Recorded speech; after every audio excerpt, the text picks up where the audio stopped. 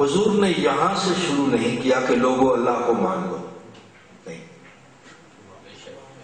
हुजूर ने कहाँ से शुरू फरमाया? हुजूर ने फरमाया, लोगों, मैं तुम में चालीस साल रहा हूँ, मुझे कैसा मानते हो? मैं तुम में चालीस साल रहा हूँ। मेरे बारे में तुम्हारी क्या राय है? मुझे कैसा मानते हो? उन्होंने पहले हुजूर को मान लिया। क्या कहा? हमने आपको सच्चा माना है, हम आपको अमीन माना है। जब हुजूर ने अपने आप को मनवा लिया, फिर फरमाया, अब मेरे कहने पर मेरे रब को मानो। ये तरतीब है कि पहले हुजूर को मानो, फिर अल्लाह को मानो। इस तरह की तबलीग हो तो उस पर तबलीग को परख लें और फिर उसके मुताबिक चलते रहे। तबलीग की एक तारीख है। और तबलीग की एक तरतीब है। तारीख का मतलब ये है कि ये कब शुरू हुई। जहाँ से शुरू हुई, वो उसकी तारीख होगी। और तरतीब का मतलब ये है कि किस तरह से शुरू हुई। जैसे शुरू हुई है, वो उसकी तरतीब होगी। हमने देखना है कि तबलीग की तारीख क्या है और उसकी तरतीब क्या है। सरवर आलम सल्लल्लाहु अलैहि की जाहिरी हयात तैयबा जब 40 साल की मुकम्मल हुई तो हुजूर ने एक पहाड़ी पर कुरैश को जमा फरमाया और तबलीग का आगाज़ फरमाया। ये तो है उसकी तारीख। अब उसकी तरतीब क्या है कि हुजूर ने जब उन कुरैश को जमा फरमाया, कुफार को तो जमा फरमाने के बाद तबलीग कहाँ से शुरू थी? ये काबिल बात है। हुजूर ने यहाँ से शुरू नहीं किया कि लोगों अल्लाह को मान लो नहीं हुजूर ने कहा से शुरू फरमाया? हुजूर ने फरमाया, लोगों, मैं तुम में चालीस साल रहा हूँ, मुझे कैसा मानते हो? मैं तुम में चालीस साल रहा हूँ। मेरे बारे में तुम्हारी क्या राय है? मुझे कैसा मानते हो? उन्होंने पहले हजूर को मान लिया। क्या कहा? हमने आपको सच्चा माना है, हम आपको अमीन माना है।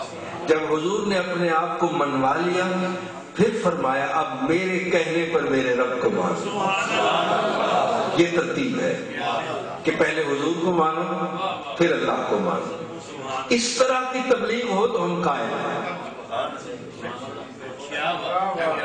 जो असल तरतीब के साथ, अगर उल्टी चाल से तबलीग की जाए तो हम इसके कायल नहीं हाँ हम उसके कायल हो जाते हैं। अगर सूरत हाल यूँ होती कि अल्लाह ताला हमारे पास आता और कहता, मैंने तुम्हें पैदा किया है, मैं तुम्हें रिस्क देता हूँ, मुझे क्या मानते हो? हम कहते हैं, या अल्लाह, तू हमारा रब है। और फिर वो कहता, मेरे कहने पर मेरे रसूल को मान लो। तो फिर तो हम पहले अल्लाह को मानते, फिर रसूल को मानते अब चूँकि सूरत हाल यूँ नहीं है, उसके महबूब आए हैं, उन्होंने अपने आप को पहले मनवाया है और फिर उनके कहने पर हमने रब को माना है। इसलिए हमको खबर नहीं कि खुदा है भी या नहीं, हमको तो एतबार है तेरी ज़ुबान और यही कमाल है मेरी खुदा शनासी यही कमाल है मेरी खुदा शनासी का। मैं जानता हूँ खुदा को तेरे हवाले से। हम तो अल्लाह को मानते हैं हजूर के वास्ते। से अगर ये वास्ता ना हो तो हिंदू भी तो मानता है, आप उसको मोमिन कहेंगे। सिख भी उसको मानता है, आप उसको मोमिन कहेंगे। मोमिन वही होगा जो हुजूर के वास्ते से अल्लाह को माने। वही मोमिन होगा। इसके वास्ते के बगैर मानने वाला मोमिन नहीं इस पे एक बात और अर्ज़ कर देता हूँ। हमने अल्लाह को माना किसके कहने पे? हुजूर के फरमान मेरा कहना वही मानेगा जिसको मेरे साथ मोहब्बत होगी आपका कहना वही मानेगा जिसको आपके साथ मोहब्बत होगी अगर मोहब्बत ना हो तो आपका कहना नहीं मानेगा। तो इसका मतलब ये हुआ, अगर हमने हुजूर के कहने पर, हुजूर के फरमान पर अल्लाह को मानना है तो ज़रूरी है कि अल्लाह की मोहब्बत से पहले मोहब्बत रसूल पहले हुजूर से मोहब्बत हो फिर अल्लाह से मोहब्बत इसके बगैर खुदा की मोहब्बत को हम ईमान नहीं कह सकते वो मोमिन नहीं हो सकता। इसीलिए हुजूर ने फरमाया ला युमिन वहदुकुम हत्ता अकून अहब्बा इलैहि वालिदिही व वलदिही व नास फरमाया तुम में से कोई मोमिन नहीं हो सकता जब तक मैं उससे ज़्यादा महबूब ना हूँ। क्या हुजूर को ये ख्याल नहीं आया कि पहले मैं अल्लाह का ज़िक्र करूँ? इसलिए कि पहली चीज़ मोहब्बत रसूल है सर इसके वास्ते से फिर जब हुजूर की मोहब्बत होगी तो हुजूर कहेंगे कि दरिया में छलांग लगा दो तो लगा देंगे। हुजूर कहेंगे सर पेश कर दो तो सर पेश कर देंगे सरकार की बारगाह में सर पेश कर देना कोई बड़ी बात नहीं क्यों सिर लहू दी तूमड़ी सिर लहू दी तूमड़ी वो यार हीरे दी कान सिद्धतियाँ जे यार मिले तो फिर भी सस्ता जा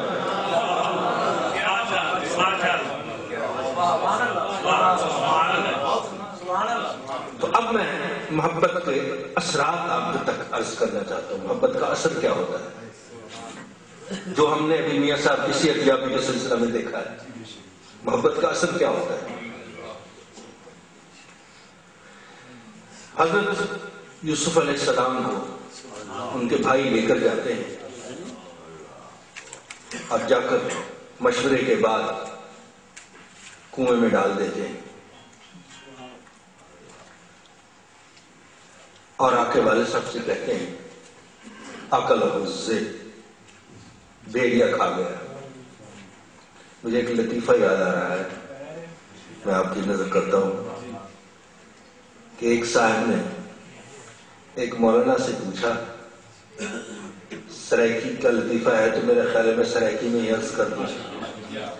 उन्होंने कहा मौली साहब ये दसो रहे मौलवी दी धी को कितने खादा। उन्हें फरमाया, तेरी केरी केरी गाल दुरुस्त कर। पहली गाल तो है, मौलवी कहना है, नबी दूजी गाल है, जो धी कहना है, पुत्रा। तीसरी गाल है, जो गिद्दड़ ना, वो नारा, बिगाड़, भेड़िया। चौथी गाल है, जो कूड़ा। वो भी झूठता तो उन्होंने हज़रत यूसुफ अलैहिस्सलाम को कुएँ में डाल दिया और आके कहा कि उसने भेड़िया खा गया। तो फिर हज़रत याकूब अलैहिस्सलाम रोए। हिजरे यूसुफ ने, हमने क्या क्या ना तेरे हिजर में महबूब किया? हमने क्या क्या ना तेरे हिजर में महबूब किया? सब्र अयूब किया नालाए याकूब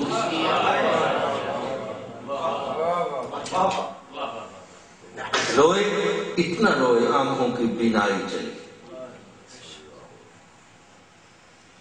फिर मरहला ऐसा आया कि वो बिरादरान यूसुफ को यूसुफ अलैहिस्सलाम ने पहचान लिया, कब? जब वो तख्त पर बैठे हुए थे। जब पहचान लिया, मैं मुख्तसर अर्ज़ कर रहा हूँ वाकई की तिवालत की तरफ़ नहीं जाता। जब पहचान लिया तो पूछा मेरे अब्बा जान का हाल सुनाओ। उन्होंने कहा वब यदना मिनल हुस्न फव कजीम। आँखें दे चुके हैं, गम में। रो रो के। अब वो बादशाह है, मिस्र है। वालिद साहब बीमार है।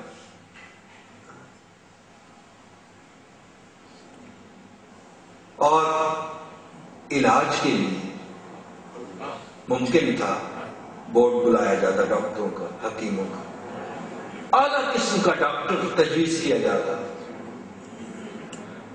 आला किस्म का हकीम तजवीज किया जाता। बहुत से डॉक्टर और हकीम भेज जाते, जाके मशवरा करो, मेरे अब्बा जान की बीनाई वापस आ जाए। नहीं, कोई डॉक्टर नहीं भेजा, कोई हकीम नहीं भेजा। क्या फरमाया? इस हबू बे कमी सी हाला फरमाया, मेरी ये कमीज ले जाओ। ले जाके क्या करो? अला वजह अभी इसको मेरे अब्बा जान के चेहरे पर डालो। इलाज देखो, बीमारी देखो, इलाज देखो। बीमारी ये है कि आँख की बीमारी खत्म हो गई है।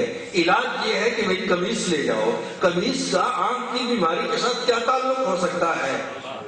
ये वो सवाल कर सकता है जिससे मोहब्बत ना हो। गली के मोड़ पे, आपकी नज़र कर रहा हूँ, गली के मोड़ पे बच्चों के एक जमघट में किसी ने दर्द भरी लय में माहिया गाया। मुझे किसी से मोहब्बत नहीं, मगर है दोस्त, ये क्या हुआ कि दिले बेकरार भरा है?